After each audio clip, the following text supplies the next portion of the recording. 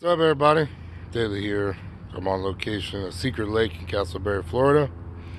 Um, you can see it's a pretty nice spot. Um, there's some good spots you would think there'd be some good fishing. But uh, I like their whole reason called Secret Lake. The secret is there's no damn fishing here. But there's a lot of nice spots.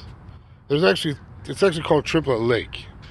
Because right across the road there's another lake. And down to the other side there's a third lake. So there actually is three lakes here for Triplet Lake. Um, I've been trying to make a video, fishing video for quite some time. It's been a few months. I've tried to make one a lot of times I went out, but I have not had any luck. And uh, I'm thinking about to call it quits for the summer, for the for the year.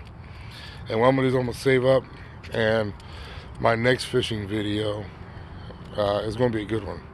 Uh, I'm gonna do a charter.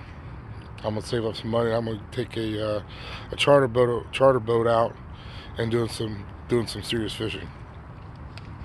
Um, first, I gotta raise the funds, right? Of course. So um, keep up with it. Um, I try to check in more often.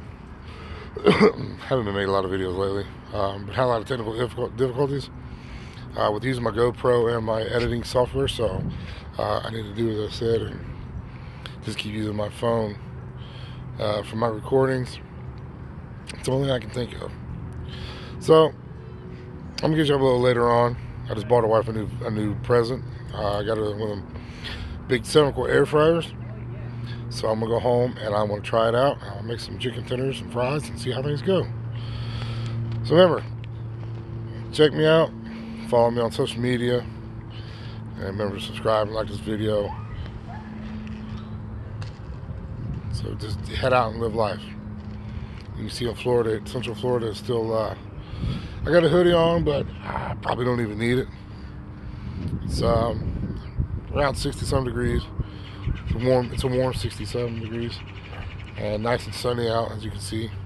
So I want to enjoy my Friday off before I have to go to work tonight. And I'll catch you on the flip side.